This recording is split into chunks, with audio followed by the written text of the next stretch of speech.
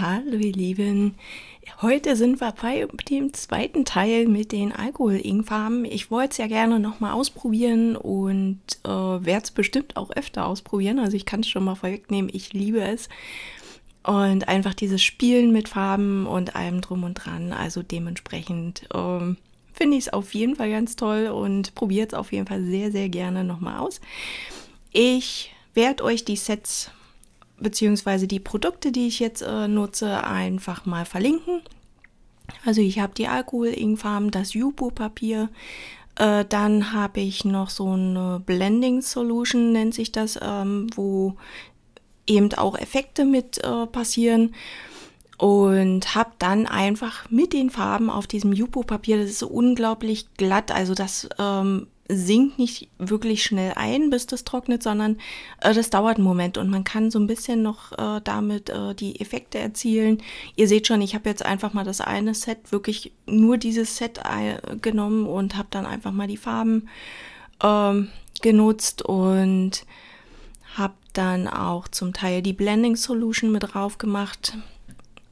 Ich hoffe, man erkennt so ein bisschen, was ich mache, ähm, weil das ist natürlich immer schwierig.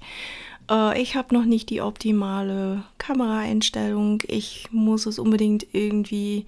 Ich habe jetzt die nächsten Tage frei. Ich hoffe, ich bekomme das zeitlich mal hin, einfach mal ein bisschen zu schauen, wie funktioniert es vielleicht am besten.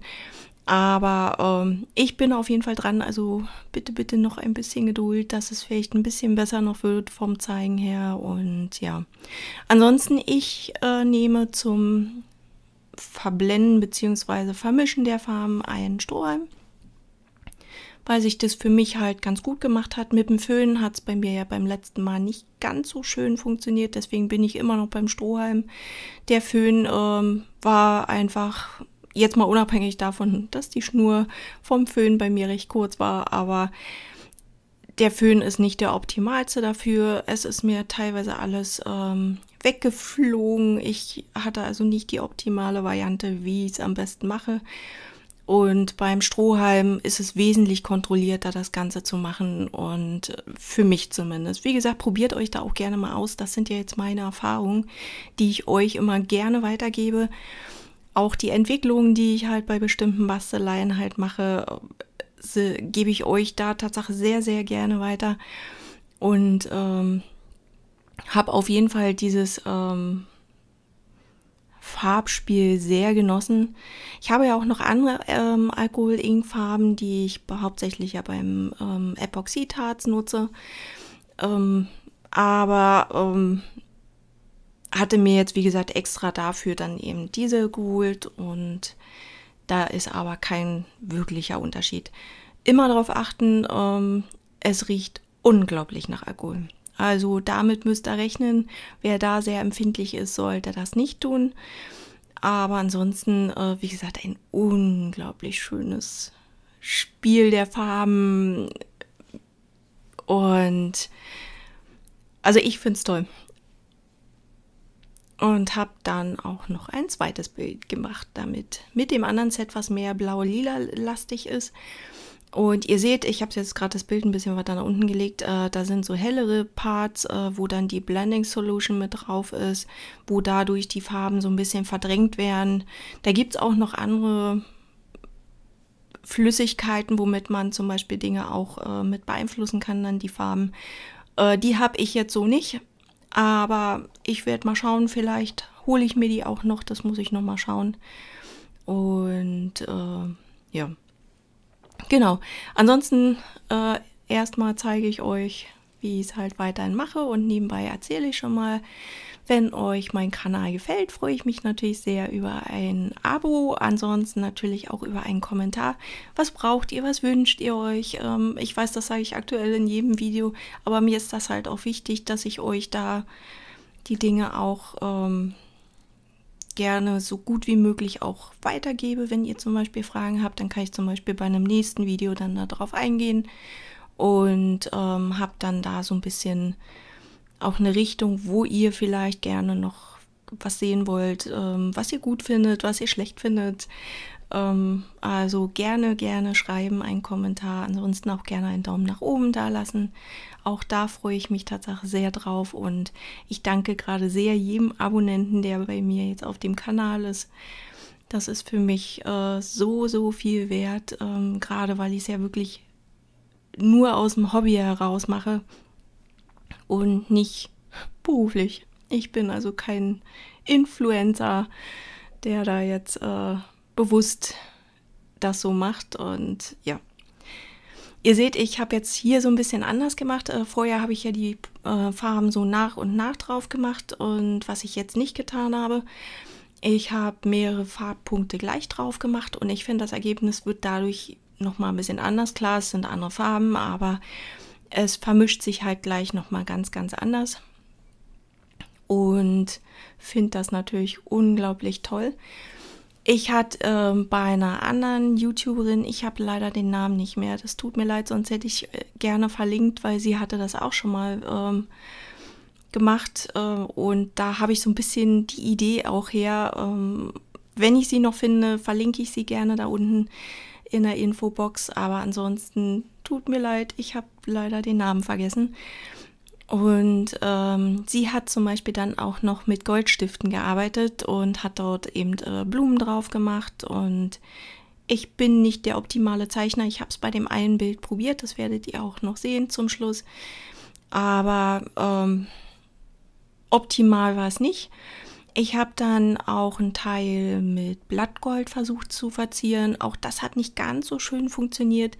Das, was für mich aber sehr gut funktioniert hat, war ähm, Freestyle-mäßig die Kanten von den ähm, jeweiligen Farben mit einem Goldstift gut äh, zu unterstützen dann damit auch. Ähm, ich hoffe, das war jetzt verständlich. Ähm, ich habe ja noch die Goldstifte, ähm, Rosé, Gold, Silber. Stifte, wo ich halt auch die Ränder zum Beispiel bei dem Epoxidharz-Untersetzern mitmache. Und das hat sich wirklich echt schön gemacht und fand ich halt auch sehr, sehr hilfreich für mich. Ich lasse die Bilder jetzt aktuell erstmal trocknen, weil sonst funktioniert es halt auch nicht ganz so. Und habe dann ähm, erst versucht, wie gesagt, mit den anderen Stiften. Es hat nicht so schön funktioniert. Also das hat so ein bisschen das Bild jetzt ein bisschen kaputt gemacht. Es ist trotzdem noch schön, aber wie gesagt, ihr wisst hoffentlich, was ich meine. Man ist selber ja immer sehr, sehr unzufrieden mit dem Ganzen, wenn es nicht so funktioniert, wie man es gerne möchte. Ich habe in manchen Punkten einen Perfektionismus äh, drin. Bei manchen Sachen bin ich halt dann doch ein bisschen relaxter. Aber wie gesagt, wenn es einem dann nicht ganz so schön gefällt, wie ich es mir vorgestellt habe, dann ist das natürlich immer sehr traurig. Aber wie gesagt, auch da probiere ich mich immer noch aus. Ich nehme euch da auch gerne immer weiterhin mit, weil ich glaube, dass das ein unglaublich schönes Hobby auch ist. Wer gerade so mit Farben spielt, das hat was von einem von einer anderen Möglichkeit mit Aquarell. Auch da habe ich zum Beispiel jetzt gerade angefangen, ähm, mir Aquarell Pinselstifte zu holen und ähm, bin ähm, ein bisschen am Ausprobieren. Ich film's mit, äh, bin noch nicht 100 pro zufrieden. Wie gesagt, ich kann nicht wirklich malen. Ich bin da wirklich total untalentiert für. Was aber auch für mich vollkommen okay ist. Man muss nicht alles können, aber ich probiere es so unglaublich gerne aus. Also traut euch da auch sehr gerne. Und ähm, genau, hier umrande ich gerade die ähm, einzelnen Farben mit einem Goldstift und habe da so ein bisschen versucht, da auch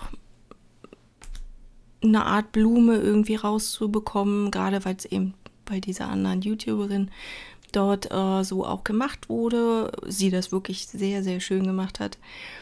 Und ähm, habe dann aber, wie gesagt, für mich festgestellt, so ganz schön ist es bei mir nicht geworden und ähm, habe es dann eben auch nochmal mit einem dunkleren Stift probiert, ähm, was auch ja, was leider auch nicht so funktioniert hat, aber ja, ist einfach noch ein sehr viel Ausprobieren von meiner Seite her und ich zeige es euch natürlich auch sehr gerne einfach. Man lernt ja eben auch aus den Sachen, die jemand anders macht.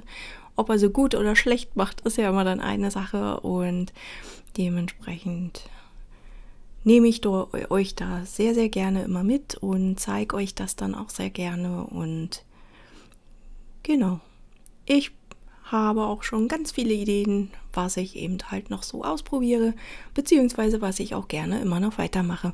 Wie gesagt, das mit den Alkohol Ink ist für mich halt auch etwas ganz, ganz Schönes, was ich äh, sehr gerne auch weitermachen werde und äh, vielleicht dann auch immer, immer besser werde und die Kontrolle mehr und mehr behalte.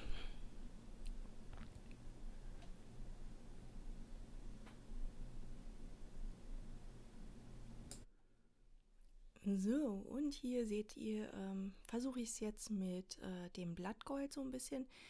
Ähm, das Blattgold ist nicht immer ganz mein bester Freund, aber ich fand die Vorstellung gerade in dieser Farbkammer sehr, sehr schön.